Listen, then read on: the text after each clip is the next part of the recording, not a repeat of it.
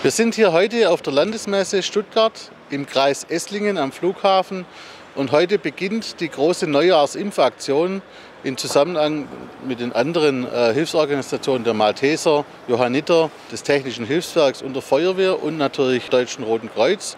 Wir impfen hier insgesamt 20.000 Impfdosen in den nächsten vier Tagen. Heute beginnt oder heute hat es begonnen, heute Mittag bis heute Nachmittag oder heute Abend um 23 Uhr und dann äh, die nächsten Tage inklusive Heilige Drei Könige von morgens sieben. Also können Sie praktisch vor dem Geschäft noch schön zum Pieksen vorbeikommen bis abends um 23 Uhr.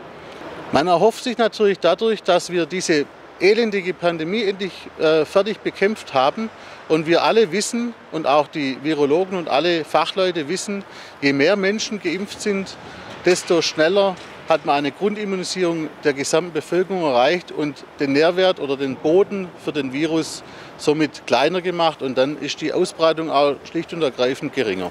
Ja, Sie fahren hierher, dann reihen Sie sich in die Autoschlange ein, dort werden Sie dann eingewiesen, fahren dann in die Messehalle rein, an einen der 24 Impfplätze.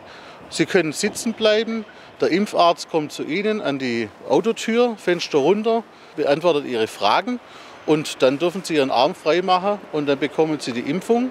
Sie bekommen auch gleich den QR-Code mitgeliefert und sind somit erst entweder ein, erst geimpft, zweit geimpft oder geboostert. Kinder werden auch geimpft. Die Ständige Impfkommission, die STIKO, hat es ja jetzt äh, freigegeben. Es werden Kinder geimpft von 5 bis 11 und natürlich auch darüber hinaus die Kinder von 11 bis 18 sozusagen.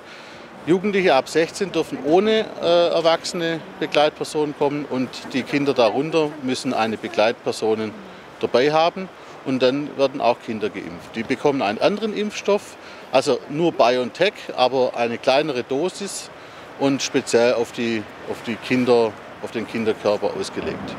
Ähm, ganz normal wie die anderen Impfungen eigentlich auch. Also es hat ein bisschen wehgetan, aber ja, ja. Ich finde das ganz gut.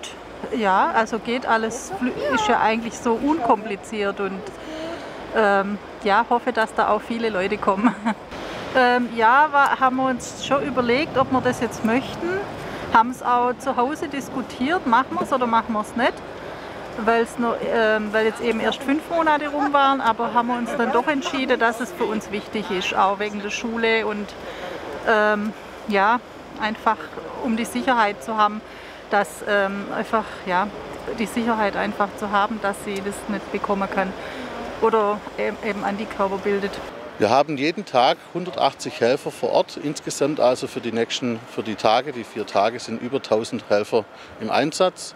Von allen Hilfsorganisationen, wie gesagt, und im, im Zusammenschluss, im Schulterschluss aller Hilfsorganisationen unterwegs.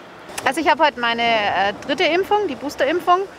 Und ja, wieso ich die mache? Na gut, ähm, also ich habe ich, ich hole ein bisschen länger aus. Ich habe ähm, einen Kumpel, der sich in der ersten Welle, wo es noch keinen Impfstoff gab, an Corona infiziert hat und ähm, jetzt noch mit den Nachfolgen kämpft, also Long-Covid hat. Und ich möchte es einfach nicht erleben und deswegen lasse ich mich jetzt boostern und damit wir alle irgendwann dann wieder ein schönes Leben haben.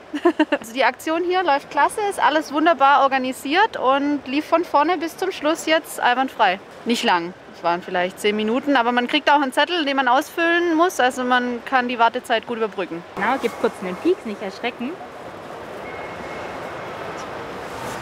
Gut, prima. Blutet nicht, gell? Brauchen Sie, können Sie direkt Sie bluten, möchten Sie ein Pflaster haben? Ja, kriegen Sie noch eins, gell? Ein Heldenpflaster.